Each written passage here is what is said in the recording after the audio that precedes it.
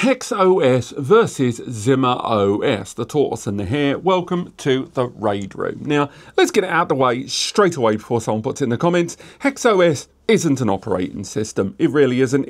I would argue it is a refinement of TrueNAS scale, which is what it's built on, but nonetheless, we are still comparing, arguably, an entire operating system with another. So when we're talking about HexOS in this video, we are talking about TrueNAS and HexOS together when we are comparing it against Zima OS. Because a number of you, when I did a video a little while ago about Zima OS arguably being one of the best beginner custom DIY free out the gate NAS software solutions in the market, I said it was one of the best. And a number of you reached out and wanted to know how it compared and whether they should opt for Hex OS built on TrueNAS scale. And that's what this discussion is going to be about the strengths of both, the weaknesses of both, and hopefully helping you understand which one you should go for. Um, so let's crack on with Hex first. Now, Hex, at least in terms of public access, is only about eight to nine months old. It's around about November 2024 when the brand rolled out early access to Hex OS. Now, if you wanted all of the features of Hex OS that aren't graphical, Newsflash, you can already get them in the fact that you can get TrueNAS Scale completely for free. You download it, use, you know, Rufus or Balena Etcher or something, stick it on a USB, bang, load it up. You've got TrueNAS completely for free although it is remarkably complicated, and that is where HexOS lives. It was backed by numerous investors. Probably one of the most well known, of course, was uh, Linus LTT himself, who did a, an investment of uh, a quarter of a million dollars into this um, comparative startup, but they were eventually, if not very early doors, partnered with IX Systems, people behind TrueNAS itself, and it was to create a user friendly kind of gateway, doorway version, call it what you will,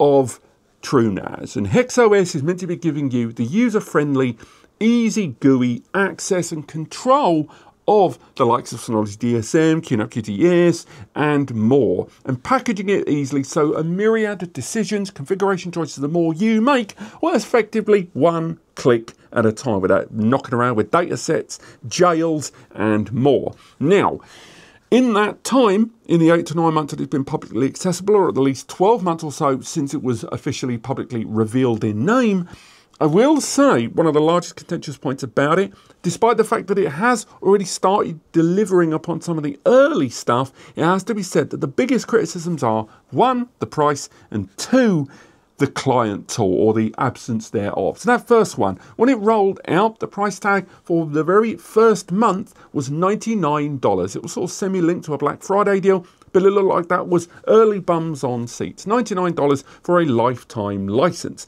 On top of that, since then it's been $199 for early access. When it goes in, presumably into a full 1.0 version, that is where you're going to go for the official targeted price of $299. There's no monthly subscriptions, it is just a fixed lifetime price tag there.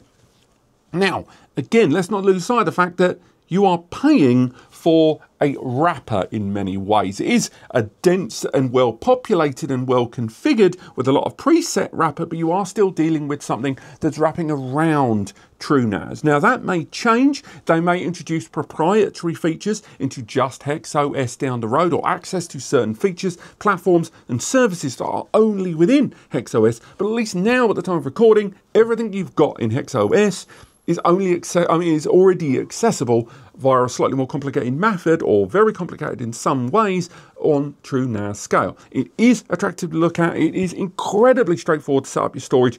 There are, um, I believe, three applications right now that are all one-click installed. Um, then on top of that, the ease of uh, creating new users, what folders they can access, all of that has been done incredibly straightforward. But that leads us on to the second problem people have with it currently, there's no client tool. Right now, it needs the internet, which for most home labbers, and especially those with even a modicum of understanding about moving away from cloud services, is a deal breaker because HexOS you want your data, your entire server, to be at your control, completely severed. And a lot of that is to do with having a client tool to get the job done. Doing the whole thing in the Web GUI is not appealing to a lot of users. And most users, that was one of the heaviest criticisms that came out on day one of it. And that was even before it was purchasable on that Black Friday $99 promotion there. Again, we have done some updates on it. I think we did a three and a six month update on HexOS along with the, I should say, the big Q2 update there.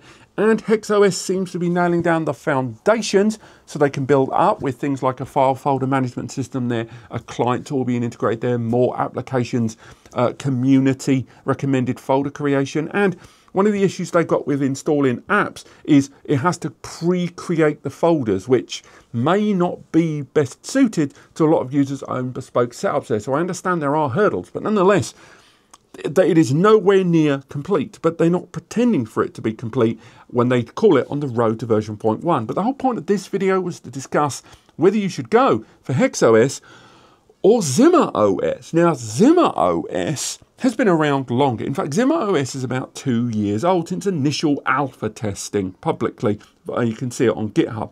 But it was actually built on something that already existed for a few years called Casa OS, a much lighter platform designed for much smaller hardware profiles.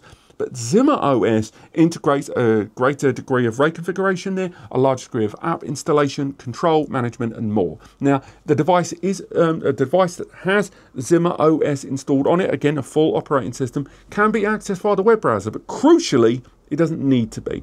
It arrives with client applications for desktop and mobile, and alongside allowing full severing of internet services to get the job done and use the full spec of the services, on top of that, you have integrated features like peer drop systems, where you can have the app installed on a few different devices and securely and using P2P services with encryption, drop and drag files between systems, as well as integrating VPNs with OpenVPN if you choose to. Um, OpenVPN services, I should say. Now, on top of that, you've also got Thunderbolt support. So if you've got a system that has Thunderbolt 4 or USB 4, currently from what I could see only Intel platforms, you've actually got a DIY NAS software solution, a free OS that actually allows you finally to take advantage of direct attached Thunderbolt and USB 4 storage, depending on your hardware configuration. That is a deal breaker for many, but much like HexOS, it still doesn't feel completely finished. It lacks a lot of the uh, features that a traditional turnkey NAS solution for likes of Synology more have, and a big part of that is to do with the fact that Zima OS was designed for this. This is the Zima Cube. There's a Zima Cube and the Zima Cube Pro. Now, there's only those two. There's been recently the Zima, Cube, uh, Zima Board 2, uh, which has just concluded its initial crowdfunding on Kickstarter, but nonetheless, that is clearly Icewhale, the, the company that made Zima OS, that is their focus. They are focusing on those two. They're letting the software being more universally available, but clearly development is being specifically targeted to those hardware platforms, and therefore it does limit, arguably, its deployment on bespoke DIY deployments and how many of those features you're going to be able to use and how many the brand themselves are prepared to support and work with to get certain things working when they are giving you a free bit of software. Also, we are discussing a platform, uh, a software platform coming from China, which I know for a lot of users is going to be problematic in terms of security and indeed in some companies, just a sheer inability to deploy solutions that arrive with Chinese network software. It's a sad truth, but true, and with arguably reason.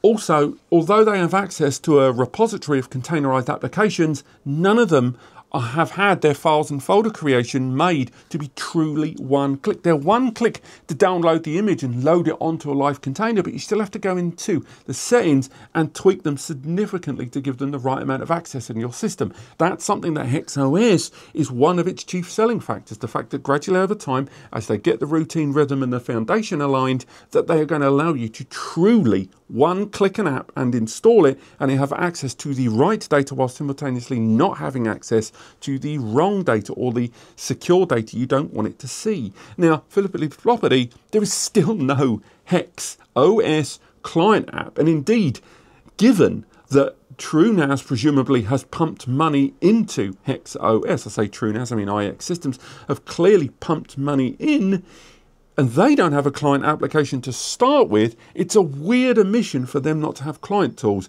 And it's clearly something from Zima when you go to their GitHub that they nailed down exceedingly early in development to ensure they had the Z Space application, uh, say uh, the Z tool, the Z client tool up and running early doors. That was one of their priorities, and fair play to them, it has stood to their benefit significantly with the peer to peer dropping and the USB 4 connectivity there. Now, from here if you are a novice user, I still can't recommend HexOS at this time. I like what HexOS are doing, and if they can commit and deliver on the promises they're making, I do think it's going to be an interesting platform, and I do think it stands to rock the boat for other OSs like Unraid and more in the market. But as it stands right now, it just feels like a skin. It just feels like a wrapper and all of the things it's saying it can do, it hasn't delivered upon. If they just rolled out the client app out the gate, I think more users would find it, less contentious about the price tag early doors and for a lifetime license as well, thinking I want a lifetime back from this. And as a beginner, although I'm not going to say Zima OS is anything like a Synology DSM in terms of usability, I will say it is very easy for users to understand and it has a lot more of those quality of life deliveries, which they're able to do, of course, because they're designing the software from the ground up. Whereas HexOS has to build on top of something that exists and takes exceedingly complicated structure and make it chewable crayon user friendly. So for the beginners, I really can only recommend Zima OS at this time. But as your skill set levels up and your needs, requirements, scalability, and more